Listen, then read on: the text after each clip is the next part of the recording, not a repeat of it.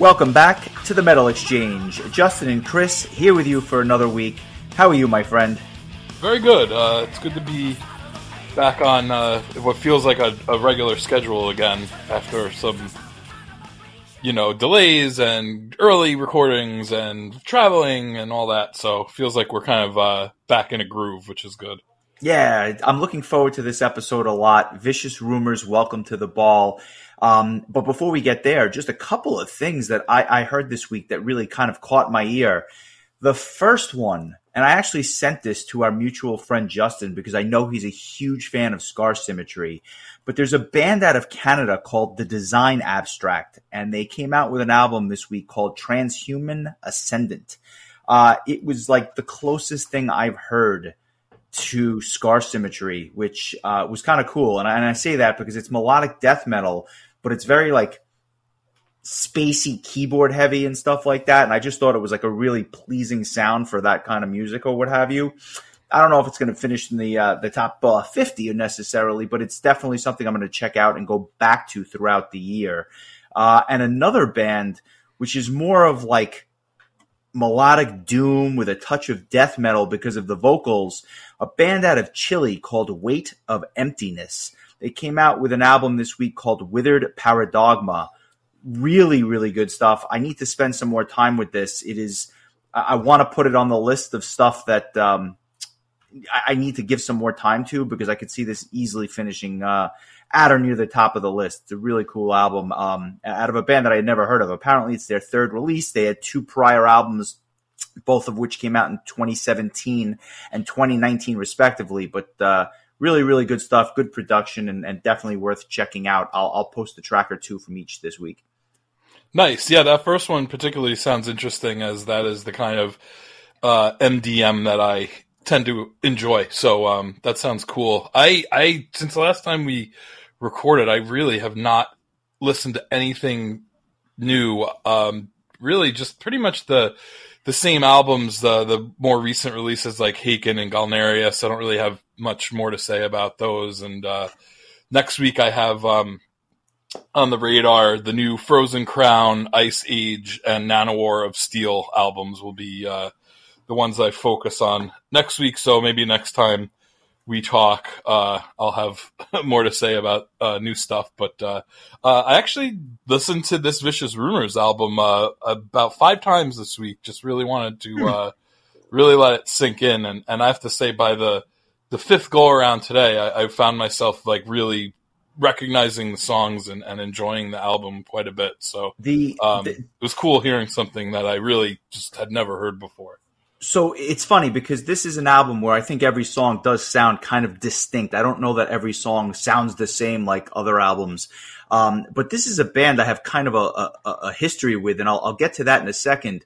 Um, but short of like the occasional playlist where I may have thrown a song or two on there, is it fair to say that you'd never given the album a full listen before this week? Uh, no, it's definitely fair. I pretty much could say with authority that I've never listened to the album start to finish before. Um, the, the, I came uh, stumbled upon these guys in like the weirdest way. Uh, back in the early days of the internet, I think I had posted something about Savatage on a message board, and I get a message on AOL or Instant Messenger. I don't recall what it was. It was around the turn of the century. And I get a message from someone saying, Oh, I see you're a big Savatage fan. Um, my band used to tour with them. Have you ever heard of a band called Vicious Rumors? And I had to plead ignorance at the time. I had never heard of them. Uh, and it turns out that it was actually uh, a striking up a conversation with their bass player at the time, Dave Starr. And uh, really nice guy. Um, I actually reconnected with him recently. I uh, he's suffering from some health issues right now. I send him nothing uh, but love and affection and the best uh, of health for him going forward. But it was really, really nice because he, back again, I'm going back over 20 years, he sent me this album in the mail and he's like, you need to listen to this. I think you'll, I think you'll like it a lot if you, if you like, um, that, you know, late 80s era Savatage stuff. Basically, everything right before Gutter Ballet, I think, would be a, a, very fair comparison. Power of the Night, stuff like that. Hall of the Mountain King. And um, I play this cassette and I just fell in love with this album and I was curious to see how it was going to hold up. It's not something that I listen to every week, although I do listen to it from time to time. Um, and, and I've certainly got thoughts about that, but it was, it was weird that I found out about this band from, from one of the, you know, one of the members that had been in the band for a number of years. Um, they've had many lineup changes over the years and I'm, I'm not going to waste the whole podcast going through it because they've had over half a dozen singers and uh, the, the one constant factor here uh, is is Jeff Thorpe, their guitar player who does backing vocals. He's one of the guys who I saw on Seventy Thousand Tons. He he was playing with them, but then the rest of the lineup was different back in 1991 when this album came out. So that's kind of a little bit of a backdrop as to why I why I chose it.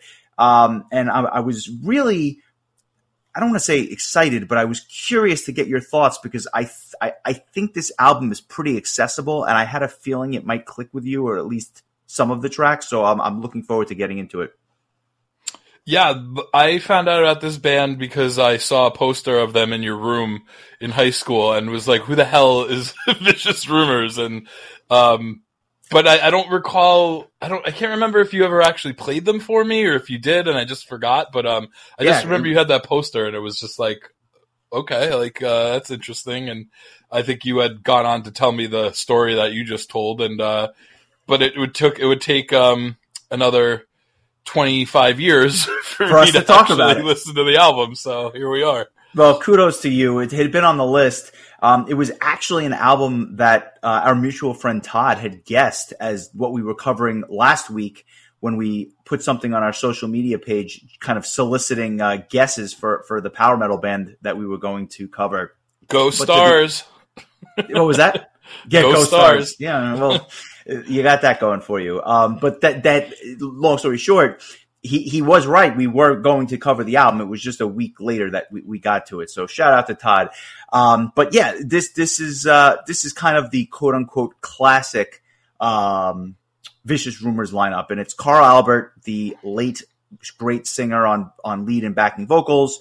Uh, the aforementioned Jeff Thorpe on guitars, along with Mark McGee, Dave Starr on bass, and Larry Howe on drums.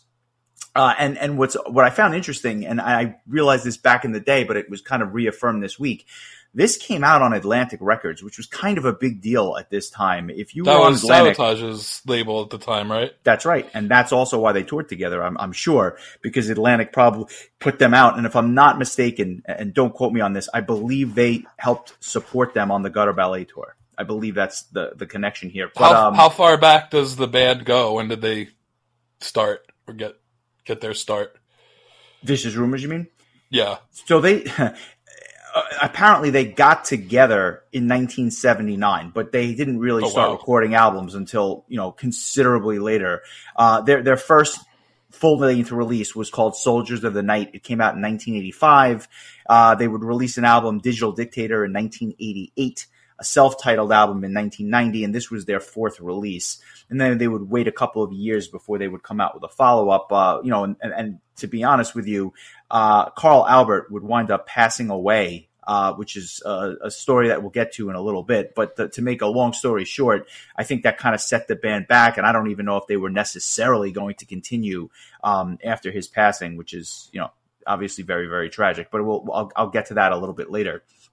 But um, this, as I said, was kind of their classic lineup. But it was at an interesting time because I feel like so much changed in and around 1991 that, you know, again, it was like right at the very end of the hair metal craze and right at that cusp of, you know, the, the alt rock movement with Nirvana right. and Pearl Jam. I feel, I feel like we kind of land on this time period quite a bit. Yeah. Like we always land back in 91, whether we're talking about Pearl Jam or Vicious Rumors, but it's kind of like, it's such an interesting time period for, for metal because it's just in this, in this state of transition from, you know, the, the hair metal heyday of the 80s into the, the kind of the, the, thrash or the uh, not thrash but the grunge the grunge rock scene of the early 90s so um yeah and, this and, is interesting and, that it kind of falls um it's only a year before the the Manowar album that we spoke of uh, not that long ago. Yeah, it's kind of that like it's just a really interesting time because you can certainly see the transition. And I think that having gone back over the years and dabbled in some of the band's earlier material and even their follow up album, Word of Mouth, which would, like I said, would come out three years later in, in, in 1994, that was kind of the last full length release with Carl Albert on it. The, the, the band's sound was beginning to change, and I think that they were trying to kind of keep up with the times, but at the same time, um, you know, remain true to their to their uh, to their earlier sound. In my opinion, the first three albums are just a little bit thrashier, a little bit heavier in spots, and I feel like this is more homogenized in many ways. And I don't say that as a bad thing. If anything, I think it's more accessible than some of the earlier material because it's it's very melodic and and very catchy and I think accessible, um, but just a little different than some of the earlier material than that um, that is out there. Uh, but yeah, just kind of coming full circle on this at 32 years old uh, on April 22nd, 1995, Carl Albert passed away. He was in a car crash and he died, obviously unexpectedly. And that just kind of set the band on a little bit of a different course after that. Yeah, that's unfortunately another parallel with Savatage. Exactly, exactly, exactly. Um, so, I mean, parallels abound. Um, when you had a chance to listen to this, maybe not necessarily after the first listen, but as you kind of was getting getting through it with the second listen and the third listen, did you find that there were certain songs that you were gravitating towards more than all of them, or was it just a pleasant listen for you throughout?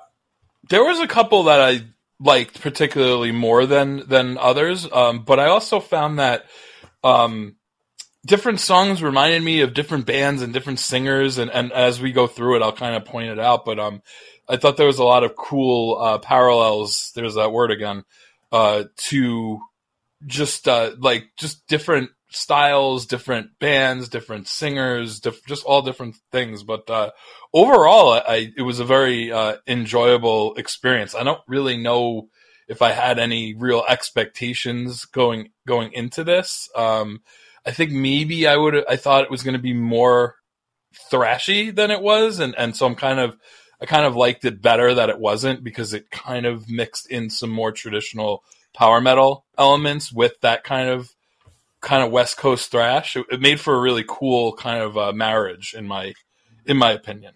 Yeah, I, I agree with that. I hear a lot here. I hear bands that came before them. I hear bands that would come after them. You know, just certain things that I picked up in terms of um, you know, certain tracks stood out to me for different reasons, especially having gone back to it with the with the benefit of hindsight. But um, we'll get we'll get through it because uh, we'll get to it just because I'm curious to see if what I hear is kind of similar to to what you picked up on um, as we go through it. But the the album starts with one of the songs that I saw live, ironically enough, and the song is called "Abandoned."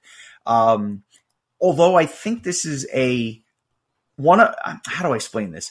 It's let me start it this way. It's actually one of my least favorite tracks on the album, which is ironic because normally they kind of start you off with something, you know, really catchy and something that kind of grabs you right away. This one is more mid-paced, kind of anthemic in nature and not so much thrashy, but just kind of a straight up heavy metal song in my opinion. Uh very very crunchy opening riff, very very tight but for some reason, I've always thought the song was slightly overrated when you compare it to the rest of the album, much of which I just absolutely love. Um, but I, when I hear Carl Albert sing, I think on this track, I, I, it's like a mix between Ralf Scheepers and an early Jon Oliva, in my opinion. Again, just me. Um, but other than like the the guitar solo, which I, I think is particularly good. I, I, I, I just don't love this opening track, which is kind of ironic because normally I gush over the first track. Yeah, uh, I I thought it was good. I think it it kind of um it, it kind of like makes you think that the album's going to go in maybe a different direction because the the rest of the album doesn't uh, follow a straight line. Um, and it, it, you're not you're not going to hear like a, a, like eleven songs that are like this first track. Um, it kind of reminded me a bit of um, we talked about that uh, the Black Sabbath track that was in Wayne's World that kind of starts out with that like really heavy riff just to kick things off, and it's just like this real crunchy, speedy kind of song. Um, it's uh, it's interesting to hear a song like this like in 1991 um I, I feel like it it's kind of like uh something that I feel like would have come more from like the late 80s thrash kind of uh time period um so I, I like this. It's a good song. I, it's not my favorite song on the album, um, but uh, I thought it was kind of a cool, like, um, a, upbeat kind of way to kick things off, um, like energetic and and uh, I feel like this would probably come be kind of cooler to see live, um, just like a fun, just headbanging kind of tune. But uh, well, that was a end, solid way to kick things off. It was very heavy when they played it live. Like it just it it, it had a little more punch to it in a live setting than it did on the album. And I don't say that to be a bad thing. If anything, I think I actually enjoyed it live more. To your point, um, but it just packed a little bit more punch. Whereas the rest of the album is not so much in this vein. The rest of the album, for the most part, is a little bit cleaner, a little bit more polished, I guess, in certain ways. And I don't know that there's a better example of that than You Only Live Twice, which is the second track. Uh, you have any thoughts about this? Because I, I have some strong ones. This is my song of the week. I love this song. I thought it was the best song on the album. I, I thought it was, um, it just, it kind of starts out like, I, I couldn't put my finger on what that, like, that kind of, um, that quiet kind of uh, acoustic guitar at the beginning. It reminded me of something. I just couldn't figure it out. But then it just like kicks off into um, a, a, a, speedier song. But it's just um, super melodic. the The chorus is really catchy. I just this was the song that I just like. I immediately the first time I listened to it, I was like, "Oh damn!" Like this was first of all like very different from the first track. Um, but it would turn out to be um, this and another song I'll mention later on um, were my two favorites on the album. But this one, I, I think, just a hair uh, a hair ahead was my, my favorite on the album. I, I presume it was uh, your favorite as well. Yeah, this is my this was was going to be my song of the week, and normally I, I would um I would just say, all right, this is our song of the week. But I, I have a, I had a backup plan, uh, but I love this song. But uh, before I tell you my thoughts, let's uh, let's give it a listen, and um, we'll come back and I'll I'll share my thoughts in a bit.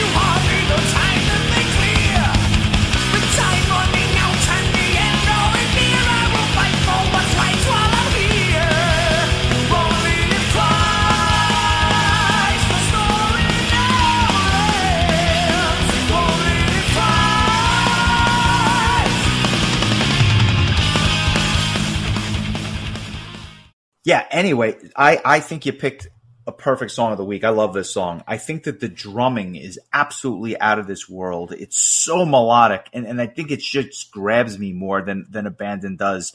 Um, a phenomenal, catchy chorus and a guitar solo that would have made Chris Oliva proud. They're like, I just think this is like a phenomenal song, and like they wound up playing this on 70,000 tons as well. I did not see this, but I'm going to go on YouTube as soon as we're done recording because I want to see what I missed. I, I have a feeling that uh, there's something out there for it. So, really, really good song. And then it goes into another album, another song, which is really, really good in my opinion. And that's called Savior from Anger. Anger.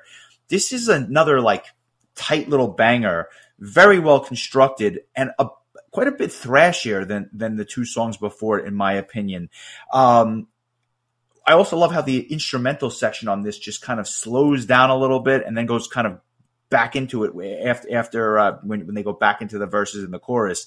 Um, it reminds me of something that you'd hear on Megadeth's Countdown to Extinction, like not the really thrashy, you know, Peace Sells stuff, but like that middle era of Megadeth where they were still thrashy, but kind of more with the mainstream components to it.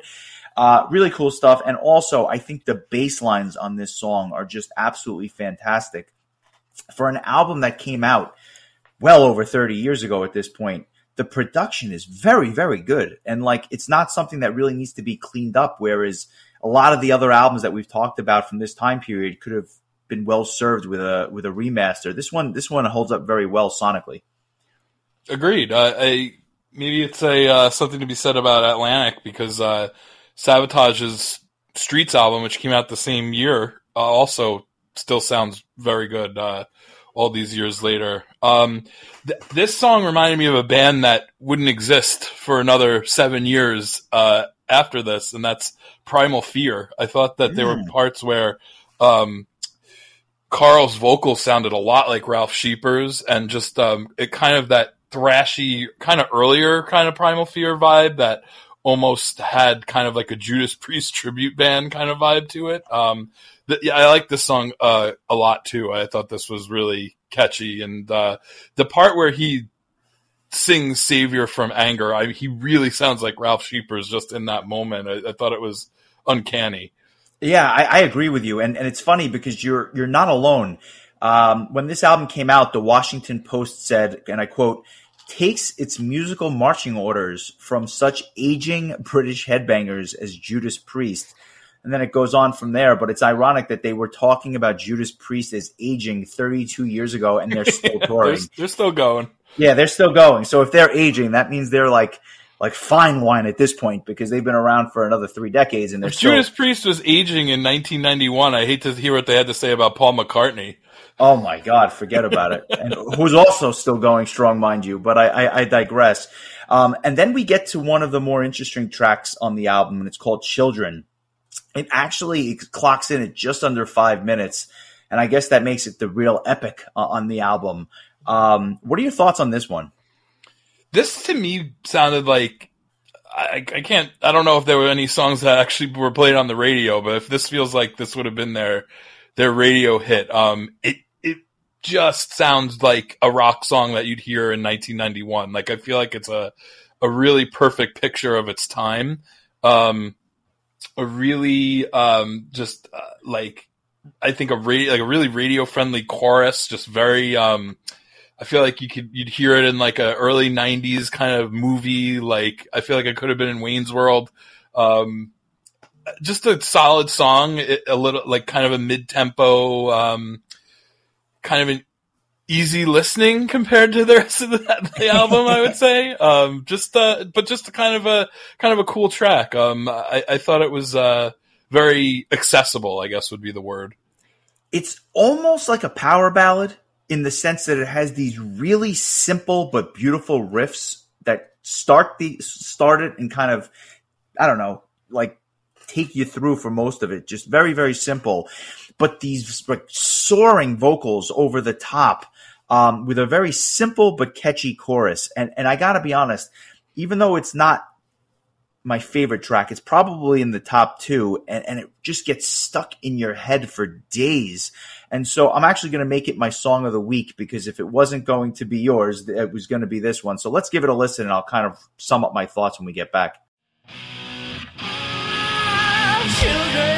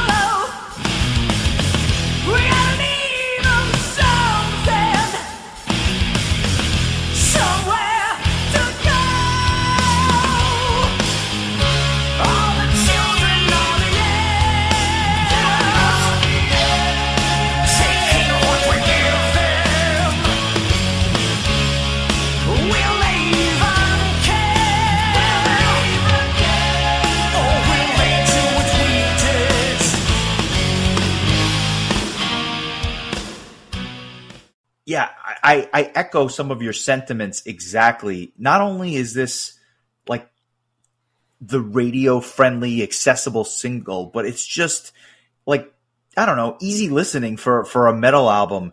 I love the acoustic guitar outro at the end too, where like you hear the kids playing in the background. I feel like this just screams MTV music video. Like you can almost see them on the playground when they're doing it. I There was. I was literally going to say the exact same thing. That's, um, I feel like we're really, uh, in sync today. I, I I agree with you. Um, but ironically, not a song that they played live on this tour, which was was a little surprising to me. Uh, and then we get into track five, which is called "Dust to Dust." This one to me has really, really strong vibes of Queensryche in both the intro and the outro, which is kind of the same. But the whole middle section is more of like a poppy thrash tune. It's got the thrash components, but with that, like, we're still trying to get on the radio bit with the pop thing going on. And I, I think the drums are just the real standout here with a kind of a cool riff that, that goes through most of this thing. Um, an underrated tune. I, I don't know that I necessarily appreciated this one as much when I was younger, but I think that going back to it, out between Albert's vocals, which are some of the best on the entire album, I actually like this song a lot. I the beginning reminds me a lot of um, Chris Oliva, like you know those kind of gutter ballet or Edge of Thorns kind of, or even on streets like those kind of mellow guitar openings that lead into a song that's you know a little bit heavier. Um, like I think of like Skraggy's Tomb Yeah. or like something like that. Where, um, but Queensryche also definitely. Um, same same type of vibe. Um, yeah, this is another like just solid kind of um, another mid tempo kind of song, but just has like a a, a nice kind of uh, gate to it, and, and it's a good like headbanging type of tune. I, I like this song uh, as well. I don't know that I have there's even a bass solo on this thing, which is kind of. I'm sorry? uh, there's even a bass solo on here. It's like understated, but it's you know it's cool that they threw that in there, kind of giving a nod to uh, something you don't always hear. Um, that kind of wraps up like the front end of the album. The, the, album only has 11 tracks, and, and these are not, by and large, the longest tracks. Uh, there's one other track that we'll call an epic because it too is almost five minutes, but for the most part, uh, that's a ballad. So like most of these songs are short little bangers, um, and and quite frankly, I think that um, "Raise Your Hands" is really no different. It it I think This- that's part of the appeal of a lot of these songs is that they're just like in and out, and and yeah they don't overstay their welcome as we've talked about other like songs can do sometimes. Um, I so agree. I, I thought that made it an easy listen overall. Yeah, I, I agree with you. Um, and like I said, this next tune, "Raise Your Hands," not my favorite. Maybe even less thrashy than some of the stuff that's come before it. This one is a little more proggy in ways, and I actually hear like Fates Warning on this one. And I, when I say Fates Warning, I'm talking about Fates Warning of this time period, like that late '80s, very early '90s Fates Warning period, before they were going full on like you know prog metal, but just a taste, you were getting tastes of it um, around this time, like around Parallels. This is not my favorite song, but it does show off Albert's like vocal diversity, and I like how they layer his vocals in spots. I thought that was a nice effect as well. But I, I just hear so much Fates Warning on this track. Uh, I couldn't couldn't agree more. Um, has that classic like bunch of dudes screaming, you know, like raise your hands, like Yeah. um, Like Kind of like metal one-. Yeah. yeah, it's kind of like a metal 101 kind of tune, but uh, it's solid. It's um, uh, it's not one of my favorite songs in the album, but uh, as I as I've said on many occasions uh, on lots of albums we've talked about, I didn't think there were any bad songs on this album. Nice. Um, what do you think about Strange Behavior? Uh, this was a another song I think that is a touch slower, but by no means is this one a ballad. Um, in my opinion, very, very, very good tune. Um, the backing vocals remind me of something that Anthrax would do on that album that we had covered back in the archives, the one that you absolutely loved and begged me to do a second time because it was so good. Uh, but kidding aside, like these little bass lines that are come throughout this thing are fantastic. It's a simple song, but it's really effective. And quite frankly, song's probably better or, or I enjoy it more than it probably should because it's nothing special, but it just really clicked for me. I, I think that Strange Behavior is a good one. Yeah, I like this one too. I feel like this is another one that would have been, I think, a solid radio song. Um, another, I feel like it's another one that's just kind of uh, on the mid on the mid tempo. It's probably my favorite of the mid tempo songs. Um, just a really just catchy song, good riffs. Um, I I I, uh, I liked it. Um, but I I could this is another one where I could kind of see a, a MTV music video going on in a I don't know some like burned out neighborhood, some kid just like throwing a rubber ball against the wall. I don't know, like I like it. And if not, you you've got a new career as directing music videos for songs that came out 32 years ago yeah, or whatever. eat your So- heart out, Spike Jonze. I love it. I love it. Um, as we kind of get towards the back end here, I I think that we there's some of some very interesting tracks as we kind of wrap this thing down, and I, I don't necessarily say that in a good way. Um, but one of them is not Six Stepsisters. I actually don't love this song. It's a really fast tune, kind of a galloping number, um, and, and and has thrashy elements, but I wouldn't call it a thrash tune. It's just a little too repetitive for me. Um, the chorus is quite good. I, I I just think it's so similar to the rest of the song that it doesn't really stand out as some of the choruses uh, earlier on in the album. Um, but it is interesting that they would throw a drum solo on this thing out of nowhere, which is kind of you know not the most common thing for a for a band like this. Yeah, this was another one that kind of took me back to like early Primal Fear. It, it felt like because I guess like early Primal Fear did kind of feel like power metal with a little bit of thrash that was sprinkled in, and that's kind of the vibe I'm getting from this song as well. Also, not one of my favorites, uh, but also you know pretty solid. Um, I believe it's one of the shorter songs on the album, so uh, it doesn't. Uh, it doesn't you don't get tired of it because it's over before you can uh so um but you know pretty good tune um yeah that's about all i have to say before we take a trip back to alan's basement we go to Mastermind, um, who's talking incessantly for uh, the next four minutes while we cover this one. No, but th- this this song, I, I didn't remember as much as some of the other stuff on this album. For some reason, I kind of lost this one to time. It's got these odd verses, but they're kind of catchy. Uh, whereas the chorus is kind of a miss for me. I, I actually prefer the verses to the chorus on this, and it has like this anthemic march like quality to it, which is uh, can be good. I just I don't particularly think that this is their best song. I will say this though, and I, I think it bears repeating: the mix is fantastic. And when you listen to this song with headphones, they do some effects with the vocals, which are kind of like these psychedelic vocal effects, which make it worthy of a listen. Even though I don't think it's the best song on the album. yeah i i liked it better than six stepsisters maybe not by a ton um Yeah, I agree with that. Yeah, uh, it, it's it's it's it's a good it's it's um they have like a lot of songs that seem to be this kind of tempo to it, um, and I think that like some are better than others. I don't think this is the best one, but I don't think it's the worst one either. Um, kind of middle middle of the the road. Um, the the the vocal effects again, it's reminding me of something, but I just can't put my my finger on what. Um, I think I'm just. Uh, think my brain is just completely fi- filled with music to the point where I don't know what's what anymore. but, uh, um, uh, we're we're getting towards the end here, and um, I, I'm curious to see how you feel about these these last two tracks that kind of close out the the album.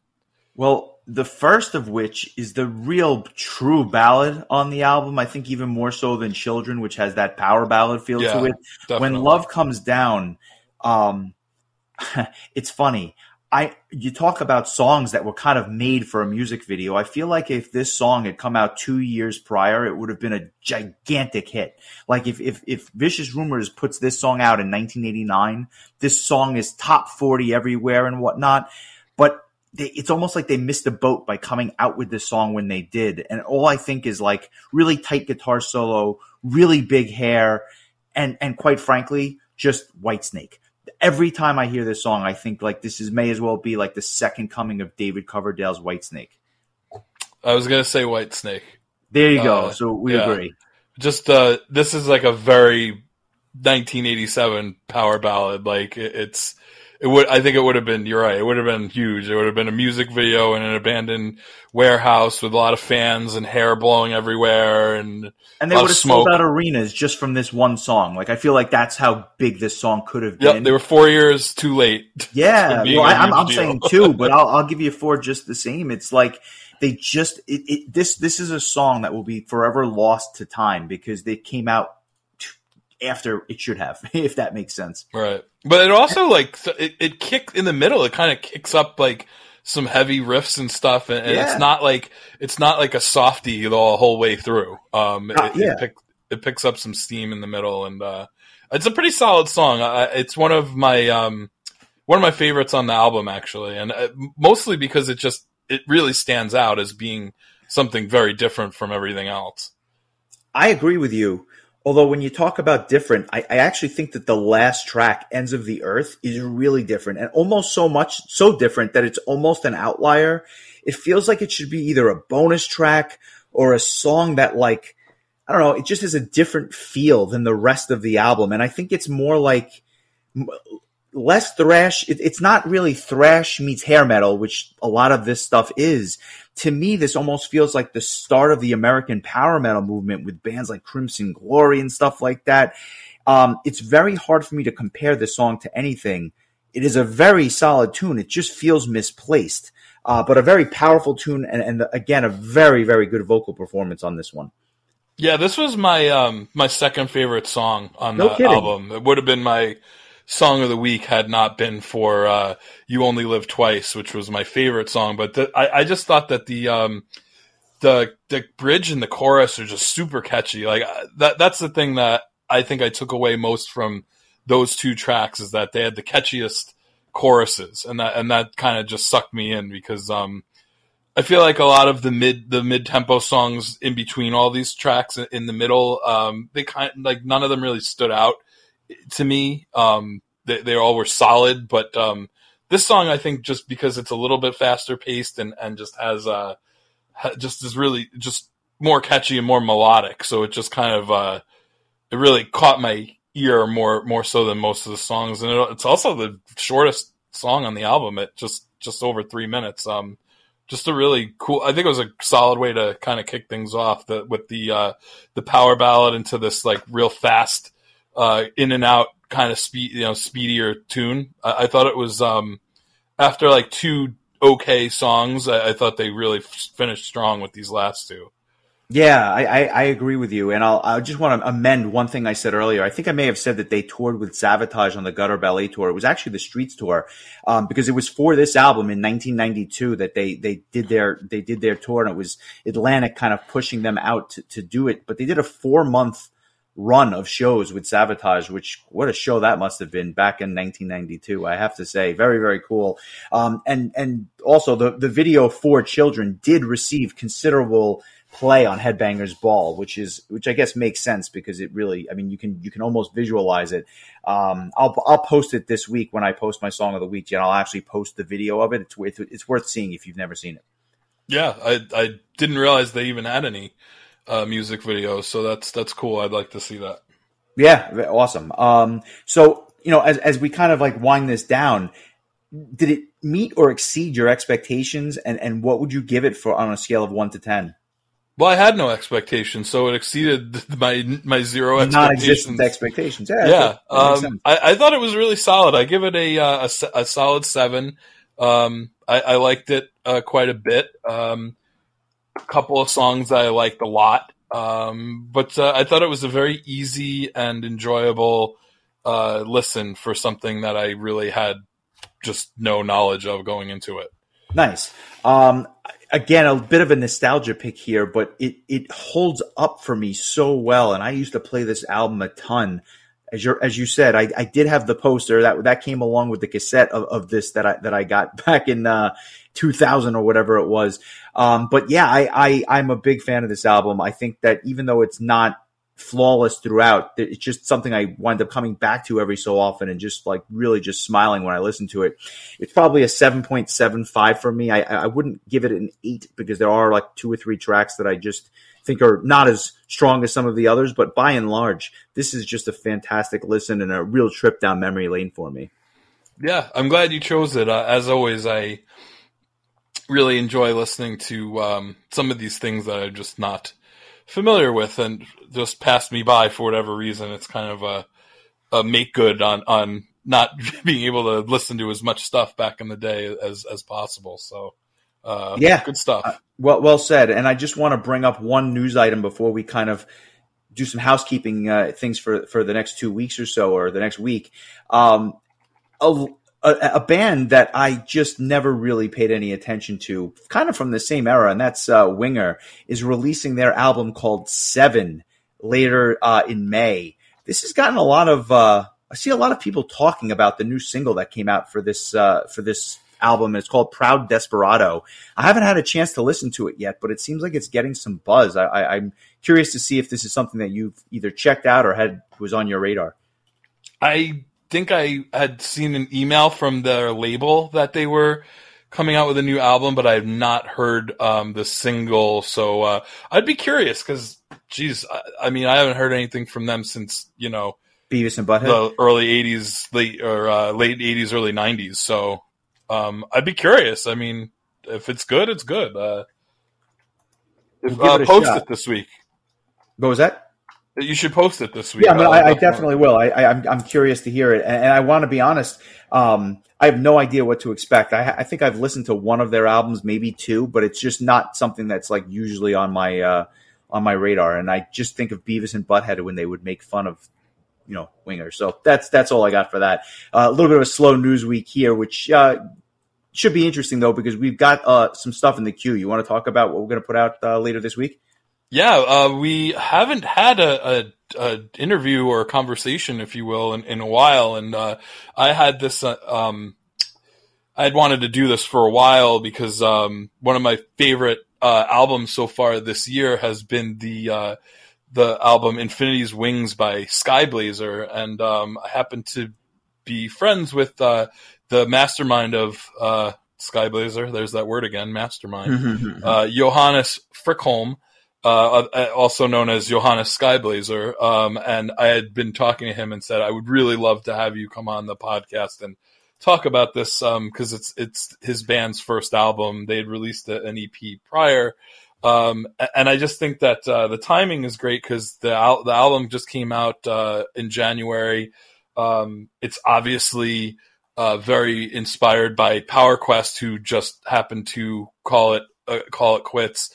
Uh, also, I think it's it's very much inspired by Tommy Johansson and and uh, the sound of Majestica, formerly ReinXeed, and and Tommy even went as so far as to uh, publicly endorse this album um, online, which I thought um, I'm sure Johannes must have been over the moon. Um, I, I, know I would have been. Um, so he's going to join us. Uh, that episode will drop on, on, Thursday morning, and we'll talk to him about kind of uh, you know his influences and his uh, process in, in, putting the album together and, and uh, the songwriting and I just thought it would be kind of cool to, to give him a little bit of uh, a little bit of the um, uh, spotlight and, and, to talk about the, this album which I just think is really great um, uh, it's it's uh, to me if if there's not going to be a power quest anymore I, I think um, Johannes is going to do a hell of a job kind of uh, carrying on that that mantle, so to speak. And uh, so we'll get we'll get into that with him. But um, that's the uh, that's the plan before uh, our next uh, album discussion. And what is that, my friend? Because I believe it is your choice. Yes. Um, so this, I, I, I, always say, like I've had some, a couple of things in the, in the back, in the back pocket, and this one I've put off for whatever reason, but, uh, it's a band that I'm a little surprised that neither one of us have chosen after 140 plus episodes. um, cause it's kind of an obvious one. Um, but I'm not going to choose the obvious album. The band is Labyrinth, but I'm not going to choose Return to Heaven Denied. I have a feeling you'll pick that at some point. I'm actually going to choose their first album, No Limits. Um, this was my first Labyrinth album and it's the only Labyrinth album that actually has Fabio Lione on vocals, or Joe Terry, if you will. The, the whole band went by stage names for some reason on this album, but this is just one of those very nostalgic albums for me. I remember vividly uh, Pat giving this album to me at the Halloween concert at Coney Island High. Uh, this and um, I want to say the Superiors Behind album, I think, were the two albums that he had purchased for me. Uh, I had been wanting to talk about this for a while. Um, I, I who was one of our our uh, listeners also uh, I think chatted with us about this album uh, a few months ago um, and was talking about how the um, I think there was like a, a, single that had different versions of, of some songs or whatever. Uh, uh, uh, you might have to jog my memory as to who it was we were talking to, but um, I, I, think it's about time that we talk about Labyrinth and but yeah, I just feel like um, not a lot of people talk about this album. It's always Return to Heaven Denied yeah. or the the newer stuff, but um, this one I feel like kind of fell by the wayside. This is a good choice. Um, I guess the the the obvious choice would have been Return to Heaven Denied, without you know getting too deep in the weeds. There, that album is one of the greatest power metal albums of all time. This, which is why we're not going to talk about it. which is why we're going to hold it off and make you wait for it. No, um, kidding aside, this is a really interesting album, and I, for for reasons which I'll get into when we record, but um, a very interesting choice. I was not expecting this, so uh, I look forward to listening to this, to revisiting it, and I'm I'm curious to see how it holds up because I I do not remember the last time I've I've given this a full listen. Yeah, I think it would make for uh, an interesting discussion. It's probably the earliest Fabio Lione material that I'm familiar with. I'm not sure if the I believe he was in a band called Athena that might have predated this, but I don't know that I've ever actually listened to much of it. Um, this no, was really like cover that. Then that's a that's a that's a story for another day. Yeah, I think I want to say I had I had I had Rhapsody's Legendary Tales before I had this album, so that was my first experience, and it only came out a year after this. Uh, he had left Labyrinth shortly after this album was released. Um, I, I, I, just remember being really surprised because I felt like it, stylistically, and I think we mentioned this when we discussed Vision Divine's uh, debut album that he had a way of sounding totally different than he did with Rhapsody. So um, Oh, he's a chameleon. It's amazing. He sounds nothing like he did with Rhapsody. Um, and that Athena album that you mentioned, that came out in 1998. So okay. Uh, it was definitely after this. As far as I know, this is his first, um, you know, full length recording. And then it would be sh- shortly after this, it would be Vision Divine and Rhapsody and everything else that he would get involved in, and now Angra and, and a million bands in between. So, uh, good choice. I look forward to this. This is I'm just I'm just looking at the cover art and just the nostalgia just from looking at that simple but effective cover art. Just uh, just reminds me of just those early days of, of getting a, a an imported CD and just feeling like like so excited to hear something that like you wouldn't be able to just walk into a store and pick up. I, I know it probably doesn't make any sense to to the younger folks out there, but yeah, that's that's you, before iTunes uh, and Bandcamp and and Spotify. we had to go to to listen to go to, to a damn store or or get somebody to ship something from Europe and Japan. Like uh, I think I actually had the the Japanese version of this album. I think maybe nice or maybe Korean. I remember the the spine, uh, the the like the it was in another language, and so I had to flip the disc over. Uh, where the other side of the spine was in English, so that when it was in my CD rack, I could actually see what huh. the hell it was saying. Well, it's going to be a fun listen. Um, I have vivid memories of, of enjoying this album over and over and over again but it's been a while, as I said, so it, sh- it will definitely be fun. A great choice. Um, if you like what you hear, please give us a like and a follow. Commenting on our stuff helps other people find it. It's all part of the algorithm. So thank you. We appreciate your support, and we will uh, come back to you with uh, some new interview on Thursday, and then of course Labyrinth's No Limit on Monday. So uh, enjoy the week, bud, and I will uh, catch up with you in just a couple of days. All right, pal. Have a good one.